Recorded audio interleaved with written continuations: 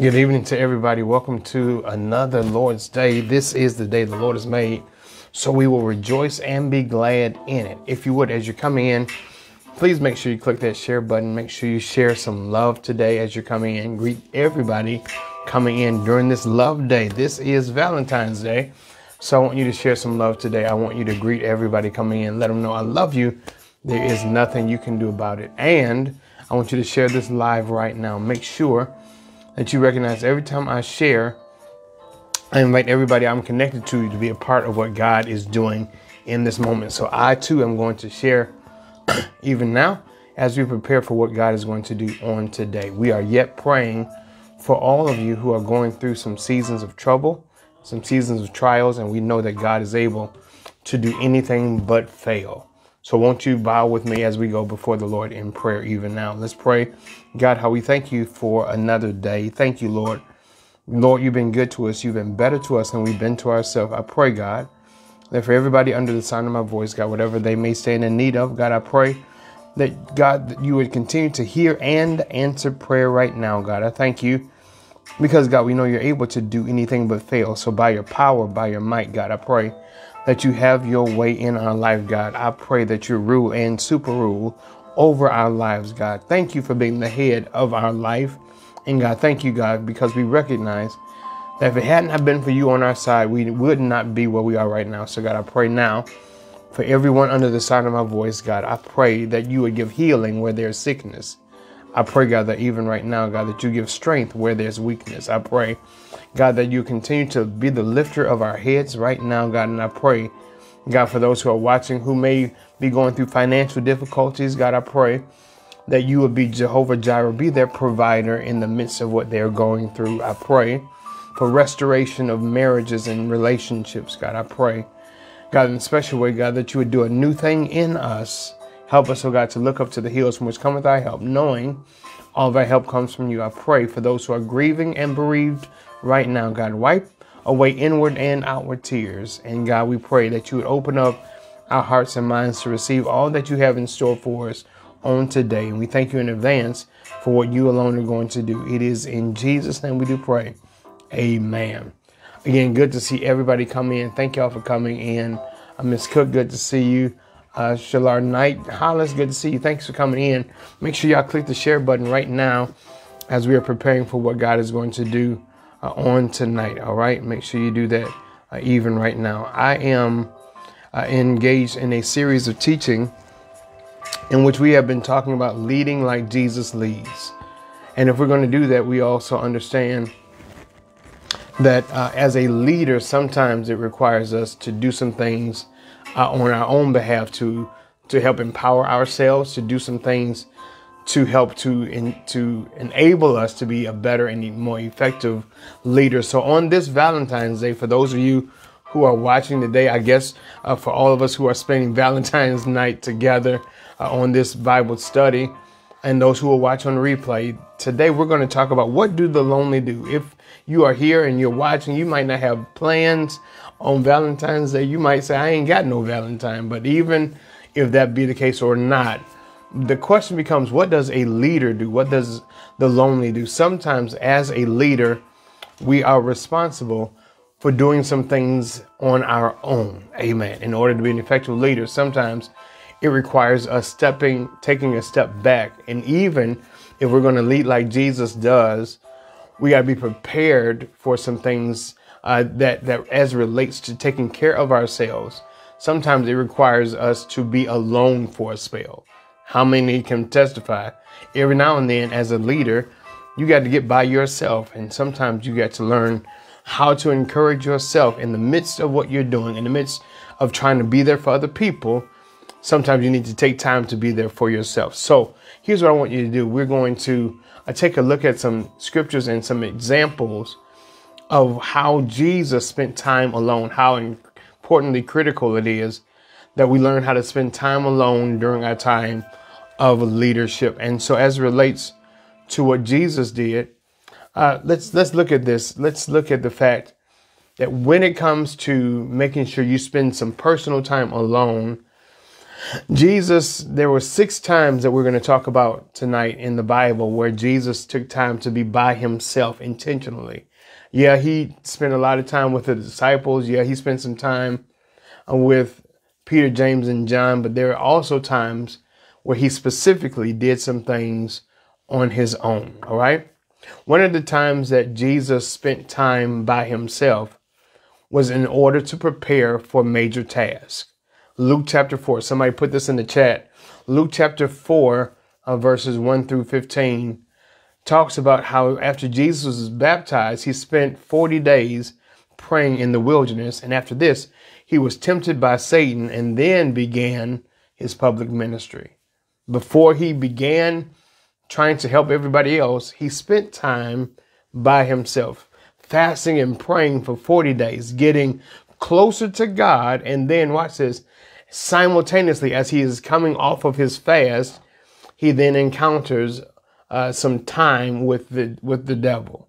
Isn't it amazing how sometimes that while it is you're trying to get closer to God, sometimes Satan will show up at the self same time. It is when I'm trying to get my relationship with God right that the enemy will come and try to disrupt your regularly scheduled program. And so it is that if you're going to lead like Jesus, sometimes it requires us taking a step back, fasting and praying as we are called to do, right? Fasting and praying doesn't mean you got to make public service announcements, but sometimes in our personal time, we got to spend time with God. Watch this, recognizing that soon as you spend time with God, there's an attack from Satan coming. There's there's going to be some time where by the time you finish with with getting your your quality time in with the Lord, that watch this that the enemy is going to simultaneously come in and test what you have just went through. And so Jesus intentionally spent time alone before a major task. How many of us go from one thing to the next without taking some time out to spend time with God and understand that we cannot say that doing ministry is spending time with God. Let me say that again. For every ministry leader, uh, stop stop saying, "Oh yeah, I'm spending time with God because I'm doing ministry." No, you're helping people. Doing ministry, you're actively helping people. You're doing things for people, but it is not the equivalent of spending time with God. So you have to be intentional in spending quality time away from the crowd, away from everybody else, before you take on a major task, make sure you spend some time with God, making sure you hear His voice clearly, making sure you get His directions uh, and your perspective right. So, therefore, when the enemy attacks, you are prepared for it. All right. So let's that's that's the first thing is Jesus spent time alone. Here it is to prepare for a major task. I don't need you going from one thing to the next. I don't need you uh, going from the monkey bars of ministry, going from one task to the next, and you have not spent time with God because now we're getting high on our own supply, right? All right, so the second time Uh, that we see Jesus spends time alone is to recharge after hard work. Jesus spends time alone to recharge after hard work. That's found in Matthew, excuse me, in Mark chapter 6, verses 30 through 32. It says, And Jesus sent out the 12 disciples to do ministry. And when they returned, he encouraged them to separate from the people who were following them to rest. Listen to this. I need for you to understand at some point, as much as we like going and as much as we like staying busy, all of us need to take some time to recharge and rest. Yeah, I'm talking to you. There's there's always going to be a, something to do. You're always going to have a task that you have to complete that you feel like if you don't do it, nobody will. But what happens when you run yourself raggedy and there's nobody to do what you do? So you have to make up in your mind that I am going to be intentional, not just about preparing for the task, but I'm going to be intentional with getting my rest for the task. Any witnesses that can testify? We don't rest enough. Yeah, I, will sleep when I'm dead. All these things we say. And yeah, there's no rest for the weary. Yes, there is. But you got to be intentional in taking the rest. You, you got to make sure that as it relates to leading like Jesus leads, even leaders need to take time to recharge. I mean, you can't use your phone for long periods of time without doing what? Recharging it. So if your phone needs to be recharged, if you, you know your your car needs to be recharged, if all these things that we use eventually run out, what makes you think you can keep on running without getting some rest? So as a leader, self-care is the best health care. You got to make sure that you intent you're intentional about getting your own rest. Nobody is going to say you need to rest. You got to do it on your own. In other words, people will run you raggedy and then wonder how you ran out. Many people right now, you are literally running on empty because you have decided, I'm not going to rest. But as a leader, even Jesus encouraged his disciples, I'm going to send you out to do the work, but I want you to make sure that you are intentional in recharging and resting. All right. So here's another thing Jesus took time to be alone to work through grief. Matthew chapter 14, verses 1 through 13. Matthew chapter 14, verses 1 through 13, is when Jesus has learned of his cousin John the Baptist has been beheaded. And this Bible says, and he went away by himself. Now, here's the thing if Jesus, the Son of God, the Lord of Lords, the King of Kings, could take time out to grieve his family, to grieve the loss of a loved one, what makes you think you don't need to take time to grieve? What what makes you think that you don't need to take time to to handle and deal with the loss of a loved one? Some of us try to function as if we're okay, when the truth of the matter is you're not okay. And here, can I give you some freedom?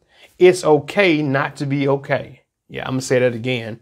Don't don't think that you you're less spiritual, that you don't believe in God the way you should.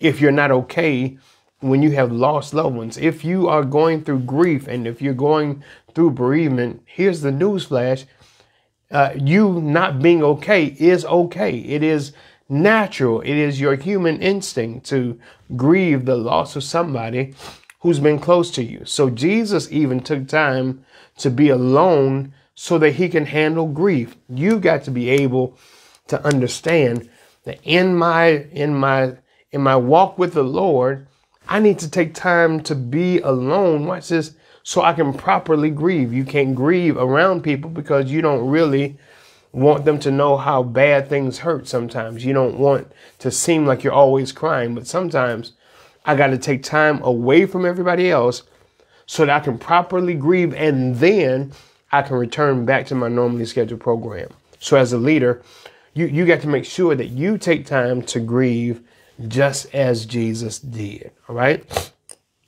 Also, Jesus took time to be alone before making important decisions. He took time to be alone before making important decisions. This is Luke chapter 6, verse 12 through 13. Y'all got that? Writing it down. Luke chapter 6, verse 12 through 13. Uh, it says in Jesus' uh, in Jesus's earlier part of his ministry, he spent a whole night alone in prayer.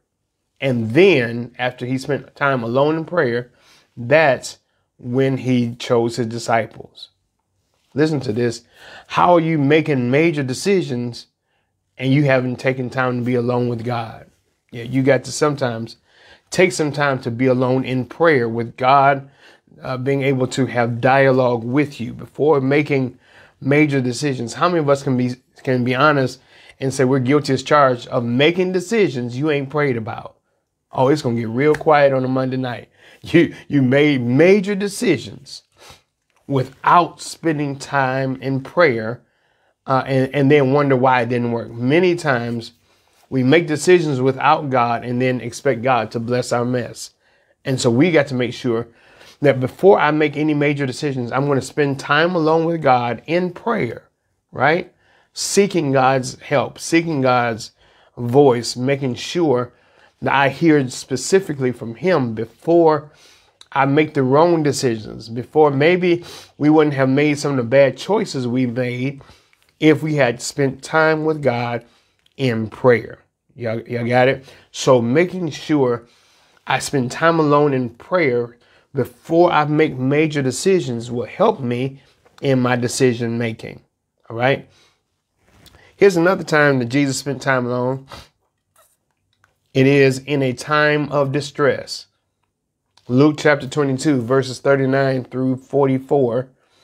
It says, Hours before Jesus was arrested, he went to the Mount of Olives and with and, and he went away from his disciples, and he himself was in great emotional agony. Jesus is at a place where he is literally praying until he sweats blood and water. Uh, he is at a place where he is in anguish over what is about to happen to the point he asked the Lord, his father, God, if you, if it be thy will, let my, let this cup pass from me. If, if it's any way I can get away from doing this, please. Uh, if it's not your will, then then do it. But that, nevertheless, not my will, but your will be done. There are some times where, if we be honest, we we got to spend time alone because you going through some stuff. And I don't know about you, but these last two years, we've been in distress. I don't care what side of the hill you're on. I don't care uh, whether what your economic status is. I don't care how spiritual you are these last couple of years, all of us have been in distress. And so subsequently, by default, it has made us spend time alone because COVID has locked us in our house. But it is in times of distress, I need to sometimes get by myself. Listen to this. You you ever been in a, in a in a moment of distress and acted out on it or you know somebody says the wrong thing at the wrong time and and you snap on them and all no sometimes in my distress i need to take time by myself so i can get to god so i can tell god i can release some of the pain that i'm feeling that i can release some of the anguish that i'm feeling so that i don't engage in what's called displaced frustration y'all know what displaced frustration is that's when you're frustrated about something over here but you release it on somebody over here. Yeah, you, you're mad at the people on your job, but you snap on the people at your house. You are upset with uh, what's going on in your house, but you release it on the people at the drive-through window. Am I talking to anybody today? So, so you got to make sure in my time of distress, I need to be by myself. Sometimes you better tell people, y'all need to leave me alone because I'm not in a good place right now. And before I snap, I need you to leave me by myself. I need you to let me spend some time alone with God so I can have a little talk with Jesus and tell him all about my problems. Sometimes you got to say, like that old uh, prophet said, don't push me because I'm close to the edge. I'm trying not to lose my head. It's like a jungle. Sometimes it makes me wonder how. No, I, let me just stop. That that that's that's a time. There's a time where I need to be by myself. I don't need to be around people because I see any minute now I could snap on the wrong person. So in my distress, I have learned to pull away, to take some time and to be with God. And then lastly, Jesus always took time to be alone to focus on prayer. Luke chapter 5, verse 16 says many times that Jesus in his ministry, he just spent time alone in prayer. And we've got to get back to a healthy prayer life. Listen to this. Uh, how, how much time do you spend on the phone each day talking to people? I'll wait. I'll wait. Many times. If you just calculate just how many hours you may spend on the phone talking to friends, loved ones, to talking to even people you don't like, you spend time talking to people every day. But when you calculate how much time you spend talking to God, it doesn't add up.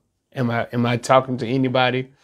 The amount of time we spend talking to people who can't do nothing to help or solve our problems, the amount of time we spend talking to people about idle conversations, yet we don't take the same or keep that same energy in talking to the Lord. We've got to get back to a place where we're intentional with our time with God, talking to Him in prayer, just daily prayer. How many of us you, you we only pray when things are bad, when things are going wrong. But when you have regular dialogue with him, regular conversation with him, sometimes it just means I'm just going to be intentional about my prayer time. How many of you set aside time during your busy schedule for prayer? When you make your schedule for the day, how many times have you placed God in your schedule? Now I'm going to take this moment this time to spend time in prayer with God. If I can plan everything else, if I can make meetings happen for everybody else, why can't I keep that same energy and spend time alone with God? You worried about being alone on Valentine's Day. Watch this.